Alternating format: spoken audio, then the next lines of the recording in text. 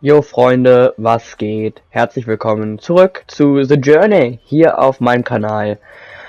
Wir sind da, wo wir letztes Mal stehen geblieben waren, nämlich kurz vor dem Training mit Alexander und den Spurs. Ja, mal gucken, wie das Training heute wird.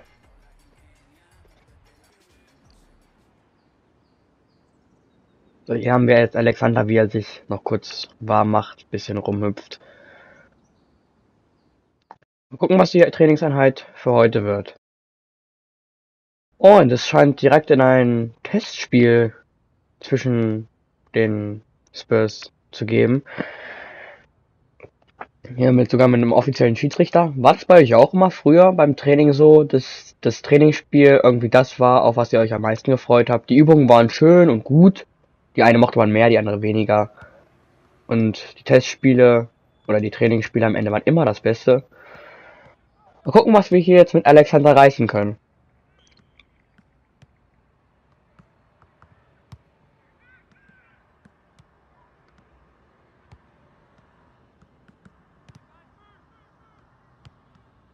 Ah, hier Ballverlust von uns.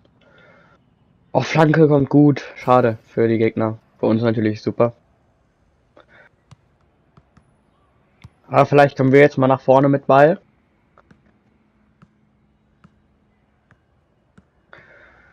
Ah, schade. Sehr gut verteidigt. Hat er 99 Stärke. Naja, egal. Also Bewertung auf jeden Fall ist jetzt nicht so gut. 5,8. Ein bisschen ein, zwei Pässe jetzt aber aufgepasst, der Gegner kommen. Ah, ganz schwach verteidigt. Kann man auch nicht so auf das ganze Player Model hier in FIFA 17 zurecht, äh, FIFA 18 zurecht. Das ist etwas anders zu dem in FIFA 22 respektive 23. Ah, schade, fast hier nochmal an den Ball gekommen. Aber ein Pass haben wir schon gespielt. Ja, und haben halt aber auch ein, zwei Fehler drin, wie den hier zum Beispiel gerade. Ja, muss man sich erstmal wieder hier anpassen.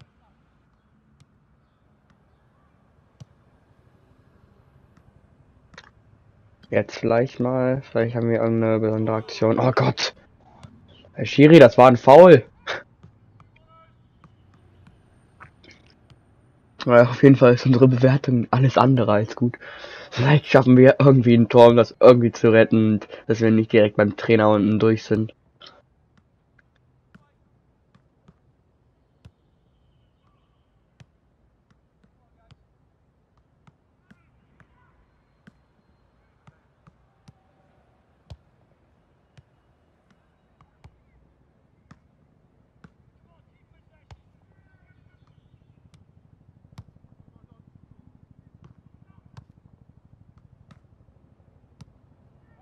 Oh, das ist gut gespielt hier, Eriksen.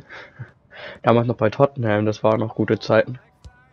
Kann mich aber auch nur an die Zeiten erinnern, wo Tottenham wirklich gut war. Da haben die damals auch das Champions League Finale 2019 erreicht mit Christian Eriksen. Das war damals hier, ich glaube, das war genau diese Mannschaft hier. Oder ein Jahr, ein Jahr weiter.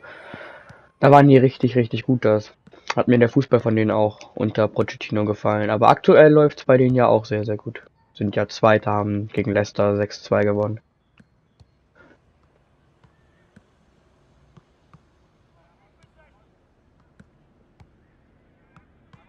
Ja, bei Alexander läuft es bis jetzt hier noch nicht so gut. Jetzt vielleicht mal im Laufduell. Nein, das sind ja aber auch alle schneller.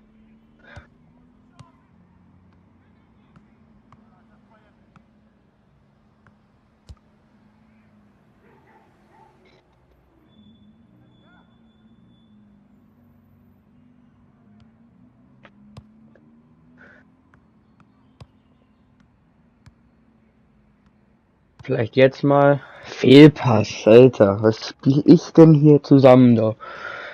Ja, immer eine Balleroberung haben wir schon. Hey, guter Pass. 5,8 jetzt. Jawohl. Son. Ja. Und direkt geht unsere Bewertung hoch. Erstes Tor für unser Team von Son. Leider Alexander nicht so beteiligt dabei. Aber immerhin das erste Tor. Für uns. Sehr schön. Gott, wie der damals noch aussah.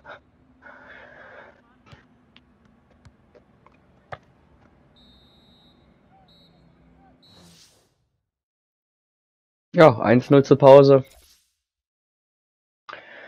Als Stürmer musst du nicht nur Tore schießen, sondern musst auch. Also unser Trainer scheint nicht so zufrieden zu sein, hat jetzt direkt einen negativen Kommentar angehängt.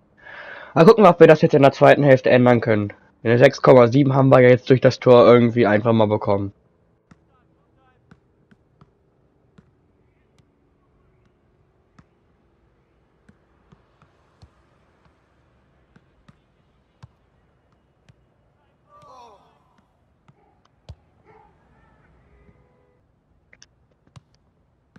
So, jetzt hier mal vorne die Balleroberung. Jetzt mal hier. Ah, direkt wieder Fehlpass. Was mache ich denn hier? Jawohl, gute Balleroberung. Komm, jetzt schick mal Hunter. Mach ihn. Wichtig. Da ist unser Tor. Direkt 7,8 hier. Läuft doch. Erste gute Szene von Alexander im Spiel. Sehr gut direkt. Sehr, sehr, sehr gut. Sehr gut platziert. Sehr gut gemacht.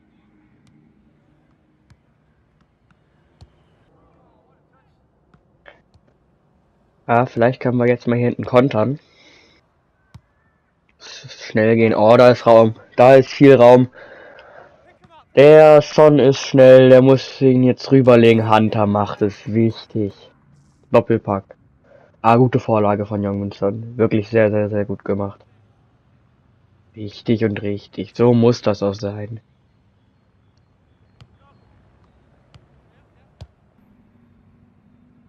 So, noch die letzten paar Sekunden jetzt vom Training, da ist es vorbei. Wir haben zwei Tore gemacht, das Feedback hier rechts fällt schon jetzt deutlich besser aus. Klasse, klasse Kurzpässe heute. Ja, weiß ich nicht, kann sein. Auf jeden Fall 9,2. Sehr, sehr, sehr gut für Alexander.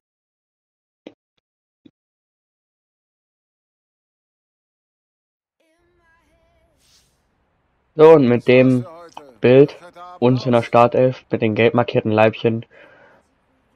Sieht das doch schon sehr, sehr gut aus. Für Alexander.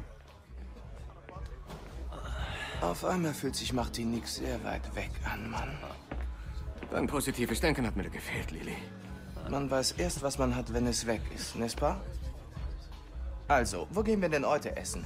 Da kann ich leider nicht mitkommen. Ah ja, Philipp. Medientag für die neuen Premier League Stars. Sie? Sie? oh, sieh mal, es ist Alexander. Bitte, Mr. Ranter, bitte. Kriege ich ein Autogramm? Hey, lass den Quatsch, ja? Lass dich nicht verrückt machen, Alex. Beim Team geht es nicht um dich, sondern um uns. Es geht um mich.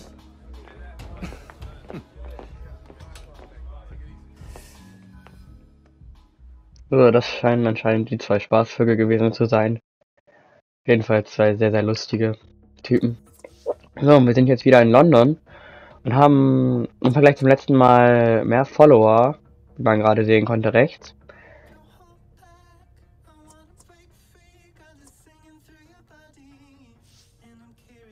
Ja, jetzt haben wir nämlich anstatt 370k 378k Follower. Schon viel, viel besser. So, hier scheint es direkt gleich weiter nach London zu gehen. Aber erstmal bekommen wir jetzt die Attribute, nämlich Spielereigenschaften. Mit Spielereigenschaften kannst du Alex einzigartige Fähigkeiten und Skills verschaffen. Setze Skillpunkte ein, um Spielereigenschaften zu kaufen. Skillpunkt erhältst du, indem du Alex Gesamtwertung verbessert. Alex Gesamtwertung steigt, da, steigt durch absolvierte Spieler. Na genau, wieder perfekt gefettfingert, stark.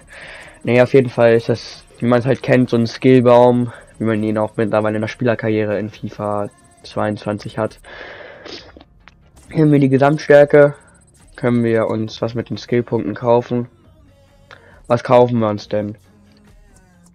Hier etwas fürs Dribbling, fürs Schießen.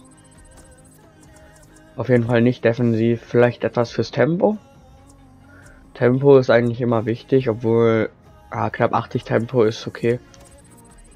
Oder also defensiv, ja gut. Fürs Passen, Passen ist eigentlich auch immer relativ wichtig. Das kostet ein Skillpunkt, das kostet ja für Volleys auch noch was sehr Gutes hier. Ja, das ich glaube so so passt das, so wie wir es gemacht haben. Und jetzt geht's nach London.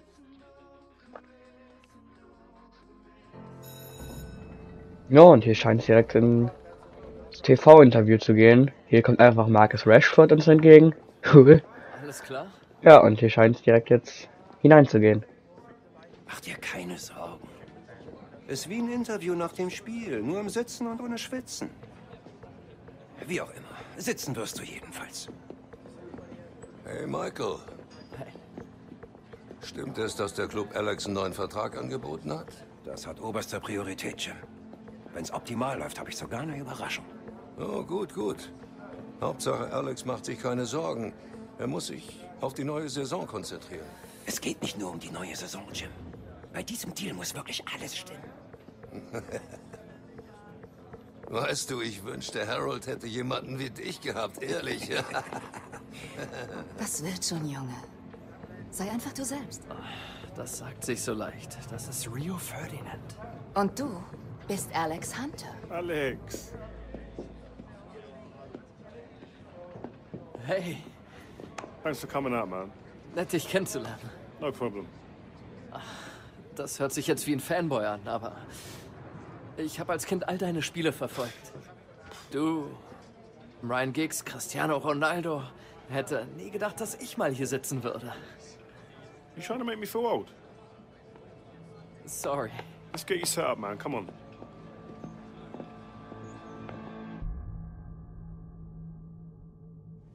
Ich bin Alex Hunter und das ist Once to Watch.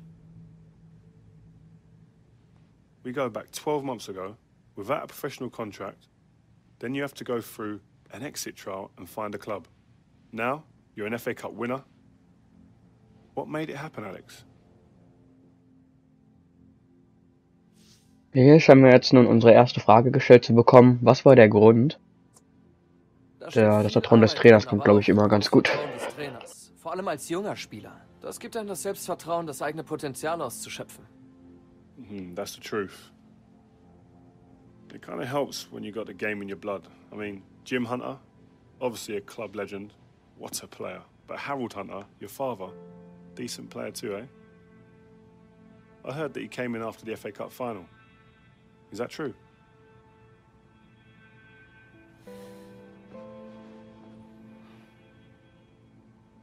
Ähm.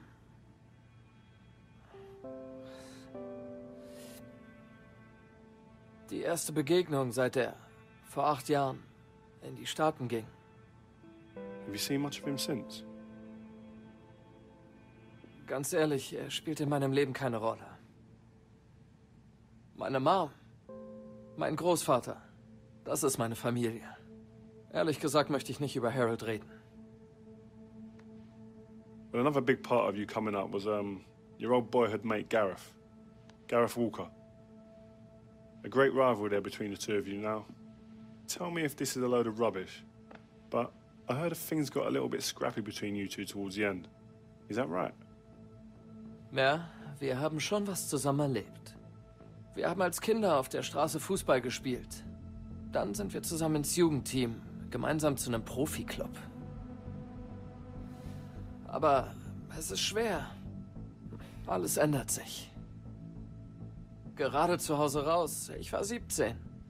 Auf einmal ist dein ganzes Leben anders. Du musst schnell rausfinden, wer dein Freund ist und wer nicht. Ich denke, da geht jeder auf seine eigene Weise mit um. Okay. Gas und ich haben nach dem FA Cup Finale geredet. Wir sind beide Erwachsener geworden. Die Rivalität besteht natürlich immer noch. Schon als Kinder ging es nur darum, wer der Bessere war. Und hier bekommen wir jetzt die nächste Frage. Wer hatte die Nase vorn von Rio Ferdinand? Ähm, also entweder na wer wohl oder das Team kam mal zuerst. Ich glaube, wir brauchen mehr Follower. Oder halt irgendwas Ausgeglichenes wieder. Was passiert eigentlich, wenn das Ding einfach abläuft? Oder dann hört das Spiel einfach selbst. Okay. I think Gareth might have something to say about that. Also Gareth hatte noch nie ein gutes Gedächtnis bei sowas. So, Alex Hunter, thanks for coming, man, and talking to us today. Good luck on the new season. Danke. Cut! But that's it, man. We're done. Well, good job, mate. Wer denkt sich denn die Fragen aus? Ziemlich heftig. Listen, we're just getting to the real stuff. That's what you want. But you did good, man. It was nice. All right? Well, good luck in the new season, man. Hey, Mann. Du auch? Ja. Uns trauen Sie wohl viel zu, hä? Mr. Hunter, Mrs. Hunter? Lang nicht gesehen. Du hast mich schon lange nicht mehr Mrs. Hunter genannt. Ja. Jetzt mache ich's wieder. Ist ziemlich viel passiert. Ja, stimmt. Wir werden draußen warten, Alex. Absolute Weltklasse, Alex. Wie erwartet. Garrus, wusste nicht, dass du auch da bist. Woher auch? Seit dem Transferdesaster bist du nicht mehr mein Agent. Ja, nun, äh, das ist ein schnelllebiges Geschäft, kennst du ja. Hm? Tja, ich, äh, ich muss los. Gute Arbeit heute. Danke. Ist er echt immer noch dein Agent? Klar, warum denn nicht? Für mich ist er der Beste. Das sehen nicht viele so. Was soll das heißen, bitte? Ach Mann, hör dich einfach mal richtig um. Taylor ist eine Witzfigur. Dass mein Transfer schief ging, lag größtenteils an ihm. Oi, Gaz. You ready to go, mate? Dann gehe ich mal. Schön, dich zu sehen, Mann.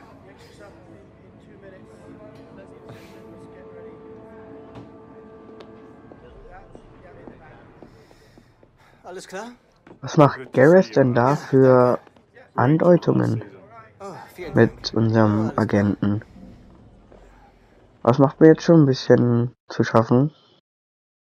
Das werden wir bestimmt noch sehen im Laufe der Karriere. So, jetzt sind wir wieder in London und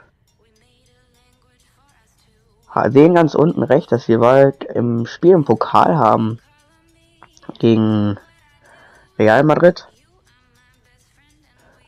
Aber das machen wir dann beim nächsten Mal. Bis dahin, haut rein und ciao. Bis zum nächsten Mal bei The Journey.